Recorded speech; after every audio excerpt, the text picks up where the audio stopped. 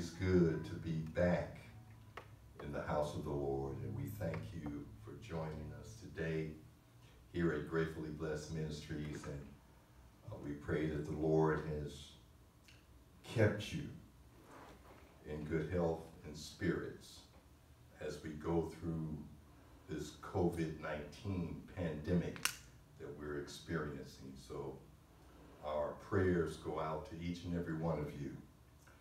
Uh, we'd like to begin by saying Happy Father's Day to all the fathers. And it's a tremendous day for fathers. And if you are a father or you have a father, um, we want to honor them today. This is the day that we honor our fathers. But before we do that, I wanted to give you a little history of to the background of how Father Father's Day uh, celebration actually began. We do know that the Father's Day is a celebration honoring fathers and celebrating fatherhood, paternal bonds, and the influence of fathers in society.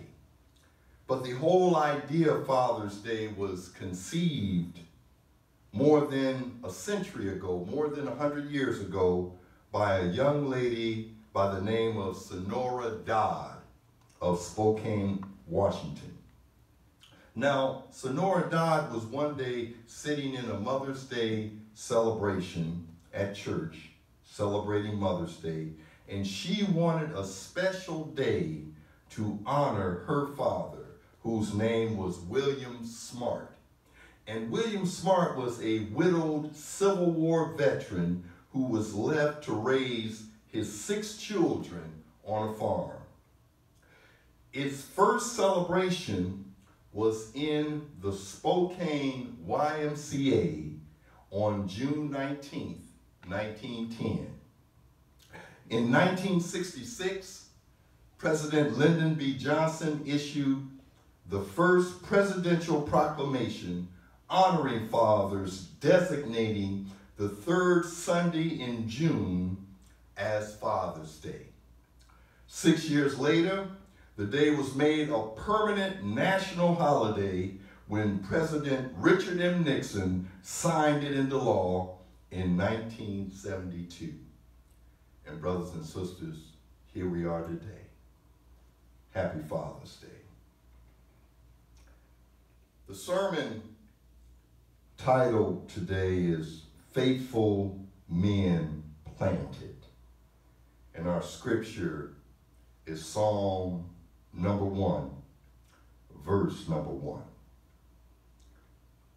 This sermon, the original author of this sermon, Pastor Terry K. Anderson of the Lilly Grove Missionary Baptist Church in Houston, Texas, preached this sermon so so many years ago and I was given the honor of preaching this sermon uh, last year on Father's Day. I was invited uh, by Pastor Jesus Sandoval uh, from the New Harvest Christian Fellowship Church here in San Diego, and the sermon was well received, and it, it's a profound sermon, and it is applicable today even as it was then.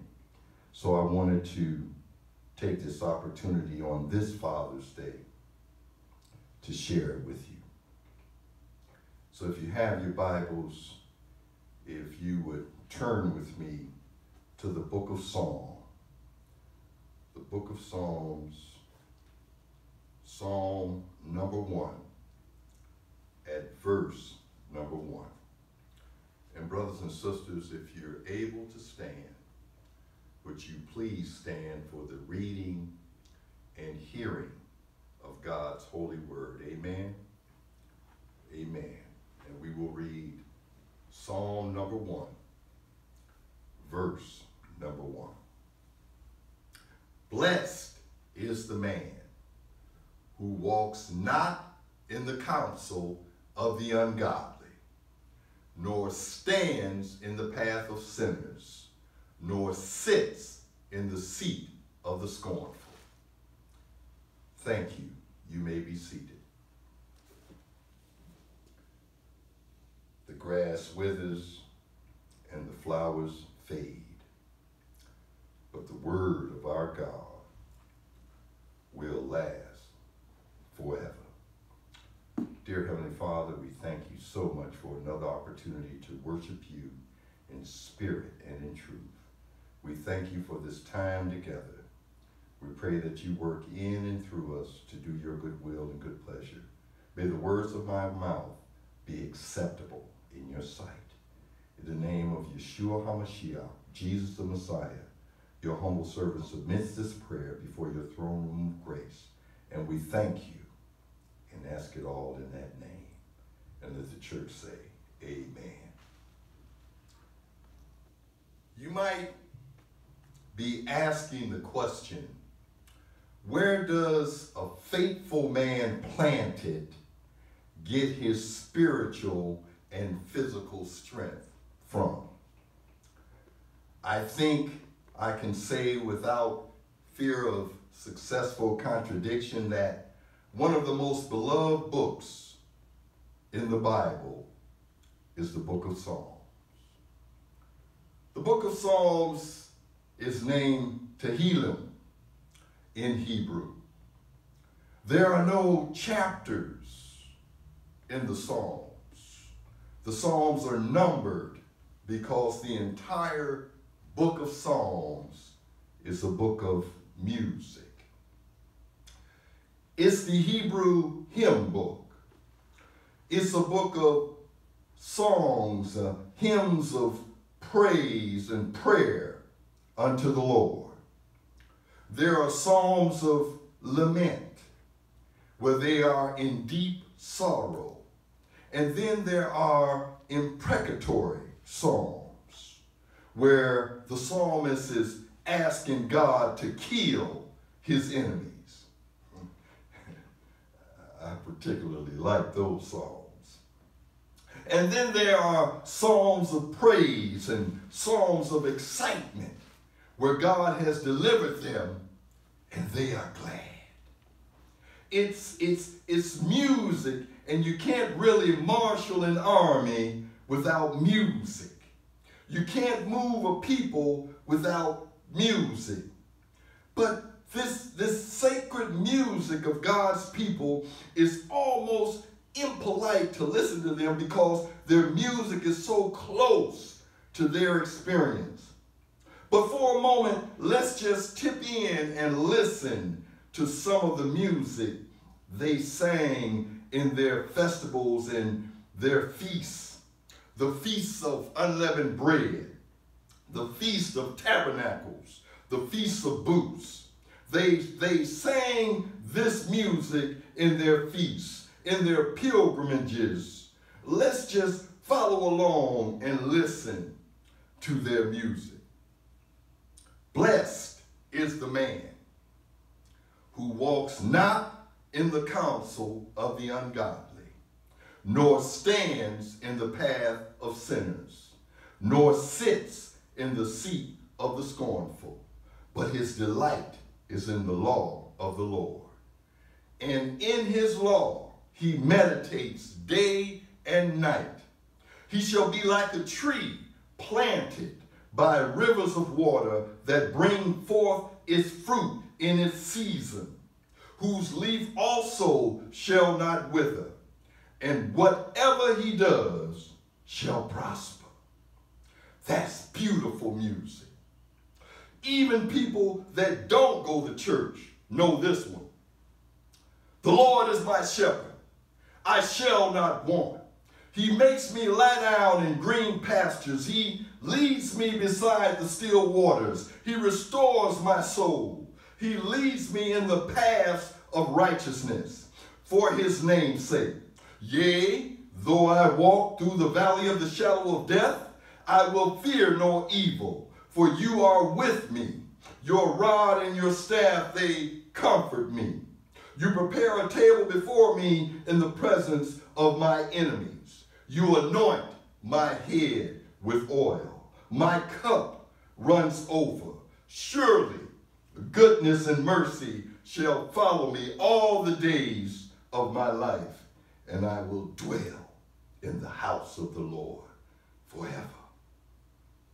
That's beautiful, beautiful music. I bet you know this one. Make a joyful noise unto the Lord, all ye lands. Serve the Lord with gladness. Come before his presence with singing. Know ye that the Lord, he is God. It is he that has made us, and not we ourselves. We are his people and the sheep of his pasture. Enter into his gates with thanksgiving and into his courts with praise. Be thankful unto him and bless his name. For the Lord is good, his mercy is everlasting, and his truth endureth to all generations. That's beautiful, beautiful music. But this, this Psalm number one, the music of Psalm number one, especially verse number one, gives us the characteristics of a faithful man planted. Blessed is the man who does not walk, who does not stand, who does not sit. Look, look at that progression. He does not stand, he does not walk, he does not sit.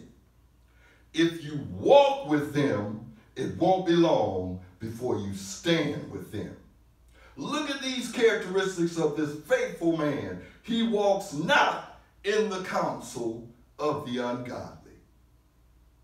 When you read the Word of God, it gives you the true characteristics of the man of God, a faithful man of God, and what he ought to look like. He is blessed if he does not walk in the counsel of the ungodly. Brothers and sisters, hear me. If you walk with them, it won't be long before you believe like them. Walking with them makes you believe like them. It's, it's, it's, it's hard to get away from how you were raised. It's hard to get away from how you were brought up. My parents raised six children, three boys and three girls. And I was kind of in the middle. I had a older brother, an older sister, and I had a younger brother and two younger sisters. And my parents would always tell me uh, when I would leave the house, they said, don't, don't, don't get into anything uh, that could, could get you in trouble because uh, you, you could get into something and, and, and not be able to get out of it. Don't hang around with the wrong crowd. And I was out one day, and these guys in the neighborhood, they knew me, and they approached me and they say, Eddie, uh, come go with us. We're going to this man's house, and he has a lot of valuables at his house, and we're going to go there and separate him from his valuables. And I, I said to them, uh, what, what, are you talking about? Uh, I, am I'm, I'm not gonna, gonna go with you to do that. And the, before I could get that out of my mouth, one of the uh, guys that were with him said, uh, what's the matter, you scared? And I said, no, I'm not scared. I'm just, I'm just not gonna go with you to do that. So I, I, I went on my way and they went on their way. And I don't even know to this very day whether or not they went back to that man's house to rob him and separate him from his valuables. But brothers and sisters, my parents always told me eh, whenever my feet were quick to mischief, don't, don't hang around with the wrong crowd because you may get into something that you can't get out of. And one of my mentors, as I mentioned earlier, Pastor Terry K. Anderson of the Lilly Grove Missionary Baptist Church, in Houston, Texas, put it this way. He says, Lord, if you see my children going in a way that I did not raise them, catch them by the reins of their minds, and turn them around before it's a day and a time too late. Mark death and judgment across their path and bid them no further to go that way. If you walk with them, if you get in their company too long, you're going to start to believe like them. Hear me, brothers and sisters. I don't care what anybody tells you, it matters what you believe. It truly matters what you believe. Now, there are some things that, that really don't matter to me. For example, what color the carpet is in the church. Uh, that don't really matter to me. Or what, what color suit you may wear on Men's Day, or whether it's black or white, or whether the corsage you wear is dead or alive. Uh, you know, that, that, that don't matter to me. And brothers and sisters, I mention these examples because churches have split over these foolish notions. But there are some things for me that are non-negotiable. I believe that Jesus is the Son of God without sin. I believe he was born of a virgin. I believe he died on the cross. I believe he rose from the grave. I believe he is seated at the right hand of God with power. And I believe he is coming back again. And those things for me are non negotiable and it matters what you believe. Because what you believe separates Christianity from Eastern mysticism. It separates Christianity from impersonal idealism and evolutionary naturalism. It separates Christianity from all the other so-called religions of the world. Jesus Christ is Savior and Lord, and I believe that. And if you believe that, it's enough to save you. If you don't walk with them, you won't believe like them. Blessed is the man who does not walk in the counsel of the ungodly. Because if you walk with them, it won't be long before you believe like them. Nor stands in the way of sinners. If you walk with them, you'll believe like them. And if you stand with them, you'll behave like them. If you walk with them, you'll believe like them. And if you stand with them, you'll behave like them. You'll behave like them. Your, your conduct says a whole lot about what you believe. Belief should always correspond with how you behave. What you believe dictates how you act. Brothers and sisters, those of us who are over the age of 50 can help me testify here. And, and, and, and don't get offended, brothers and sisters, when I talk about old age. I don't know who said this getting old was a, a good idea. I'm going in old age kicking and screaming. Uh, I, I don't like nothing about getting old. There's nothing exciting to me about getting old. So stay young as long as you can because when you get up here where I am, you're looking for your car keys and they're in your hand. And there, uh, uh, you're looking for your glasses and they're on your face. Or you walk into a room and you say, oh, what in the hell did I come in here for? Somebody ought to help me testify here. I, uh, I mentioned earlier uh, my mentor, uh, Pastor Terry K. Anderson, of the Lilly Grove Missionary Baptist Church uh, in Houston, Texas, and he had preached a sermon, and he, after the sermon, he went out to this restaurant to have a meal, and he went into this restaurant, and his server was a lovely young woman. His server was a lovely young woman. A lovely young woman. He sat out and he ordered some tea and she bought him the tea and uh, he looked at her and she looked at him and she left and she came back and uh, she tried to pour him some more tea and he said, no, baby, I got it just the way I wanted. Um, and she left and uh, he looked at her and she looked at him. And she came back again and she told him, she said, You know, you're such a handsome man. Uh, the way your glasses uh, sit on your face and uh, your mustache and your gold teeth, you're just such a handsome man. And Pastor Terry K. Anderson said when she said that to him, immediately his head popped up and his chest stuck out and you know he he felt real good but then he said the holy spirit spoke to him and he said i'm going to shuck this corn right down to the cob and he he said he told her you know i'm not i'm on three blood pressure medications and i'm not going to allow you to put me in the hospital brothers and sisters it's not about manhood. It's about God's integrity. It's not a question of manhood, it's a question of godly integrity. I have to live with myself, and so I want to be fit for myself to know. I want to be able, as days go by, always to look myself straight in the eye. I don't want to stand with the setting sun and hate myself for the things I've done. I don't want to keep on a closet shelf a lot of secrets about myself and fool myself as I come and go into thinking that nobody else will know. The kind of man I really am. I don't want to dress myself up in a sham.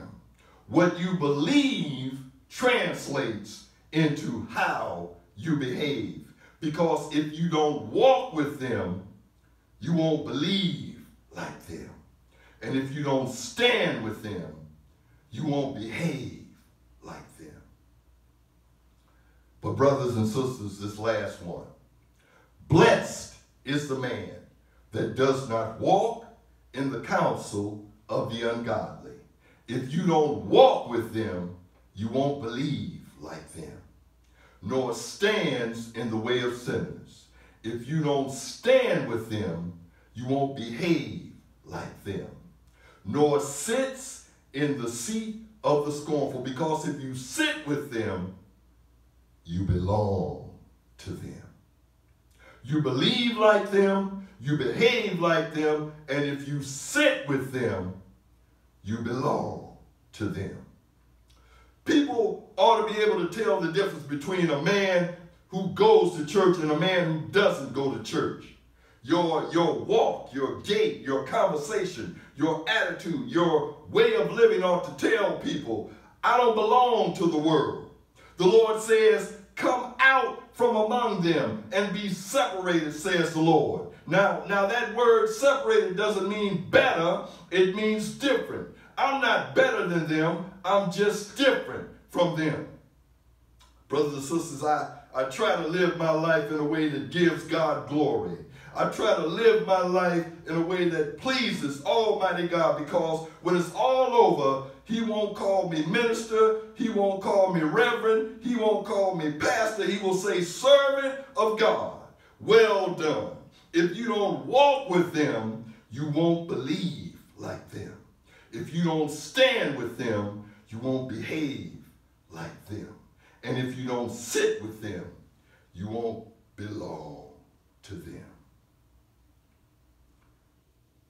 Brothers and sisters, I've lived my life trying to do what the Bible says, walking not in the counsel of the ungodly, nor standing in the way of sinners, nor sitting in the seat of the scornful. I tried to walk upright I tried not to stand with them because if you stand with them, it won't be long before you sit with them. Brothers and sisters, I want to share this story of Abraham and Lot. Lot was Abraham's nephew, and Abraham and Lot were about to part company because there was a falling out amongst their herdsmen. And Abraham said to Lot, let's not fall out. We have a common enemy in the land. We are brothers, let's not have a disagreement among ourselves. Rather than fall out, you take the land you want, and what you leave, that will be my land. And Lot chose the highlands of Sodom and Gomorrah, and Abraham chose the lowlands of Mamre. And, and that disappoints Abraham for a while until God tells him, don't be discouraged about Lot choosing the highlands of Sodom and Gomorrah because pretty soon this town is about to go up in smoke. This land has been angelically tagged for demolition. It's going to go up in smoke in a minute. Don't worry about Lot in the highlands of Sodom and Gomorrah and you being in the lowlands of Mamre. The land that Lot is in is about to go up in smoke. And so Lot takes a lawn chair and sits downtown in the gate of Sodom and Gomorrah in the town that's about to go up in smoke because he walked with them, stood with them, and eventually sat with them. And when God gets ready to destroy Sodom and Gomorrah, he tells Abraham to tell Lot to come out of there with him and his family. And Lot takes his family and they are headed out of Sodom and Gomorrah. But Mrs. Lot had to have one more look. She had to see the club one more time. She had to see the bright lights one more time, and she turned around and looked, and she turned immediately into a pillar of salt.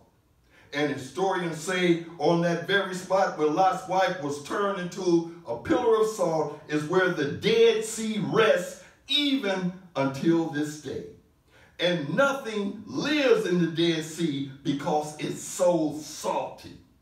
That's where Lot's wife was turned into a pillar of salt because if you walk with them, you'll start to believe like them. And if you stand with them, you'll start to behave like them. But if you sit with them, sooner or later, you'll belong to them. My brothers and sisters, there is something that I want you to know about me today. It is that I belong to the Lord. I am a child of God, and if anybody asks you who I am, tell them I'm a child of God because I know who Jesus is. Jesus is the Son of God without sin, and he is the Son of Man with power. And I loudly proclaim that I love the Lord because he heard my cry he pitied my groans as long as I live, and trouble rise, I will hasten unto his throne. I'm not ashamed of the gospel. It's the power of God until salvation. I'm not embarrassed to be a Christian. And I want everybody to know I'm on the Lord's side. He brought me from a mighty long way, and as long as I live, I'm not going to walk with the ungodly. I'm not going to stand in the path of sinners, nor sit in the seat of the scornful, because if you walk with them, it won't be long before you believe like them. And if you stand with them, it won't be long before you behave like them. And if you sit with them, it won't be long before you belong to them. In conclusion to this Father's Day message entitled, Faithful Men planted. During these COVID 19 pandemic times, a man's faith is being severely tested. That is why a godly man must be a faithful man planted. The seeds that you have planted in this 2020 pandemic will long be remembered by not only your children, but all children as well.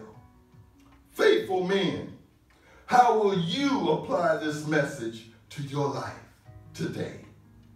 What is it that you want your children, grandchildren, and even great grandchildren to know about the way that you lived your life? Will you leave a spiritual legacy for all children to see? What is it that you loudly proclaim, and whose side are you on? Listen, brothers, we have to walk with God. We have to walk with Jesus because if you walk with Jesus, you'll believe like Jesus. If you stand with Jesus, you'll behave like Jesus. And if you sit with Jesus, you'll belong to Jesus. And brothers, if you do these things, God will bless you to become the fathers that he has called you to be. Amen. Amen. I hope you got something out of the word of the Lord on this Father's Day, June 21st, 2020. God bless you. We want to thank each and every one of you for listening and taking the time out of your day to listen and watch this sermon again. I hope you got something out of it. We pray our richest blessings upon you. And if there is anyone who has not accepted Jesus as their Lord and Savior, I encourage you to do it today. Romans chapter 10 and verse 9 and 10 says, Because if you confess with your mouth that Jesus is Lord and believe in your heart that God raised him from the dead, you will be saved. For with the heart one believes and is justified, and with the mouth one confesses and is saved. I would like to encourage each and every one of you to go to our website so that we can help you navigate through accepting Jesus as your Lord and Savior at gratefullyblessedministries.com. And also, you can view all the sermons or even submit a prayer request. And we want to take this opportunity to thank you for your generous donations for the building of God's kingdom here at Gratefully Blessed Ministries. And now for the benediction. Dear Heavenly Father, now unto him who is able to do exceedingly and abundantly above all that we can imagine or even think. May the Lord bless you. May he keep his hedge of protection around you during this COVID-19 pandemic. May his countenance and his face continue to smile and shine upon you. May he be gracious unto you, grant you favor, and show you peace. May he continue to lift you up and send you out to complete the work he has started in you in accordance with Philippians 1 and 6. Lord, dismiss us from this place, but never from your awesome sight. We thank you for another opportunity to worship you in spirit and in truth. In the name of Yeshua HaMashiach, Jesus the Messiah, and let the people of God say, Amen. Let's give the God, our God, a hand praise. Amen.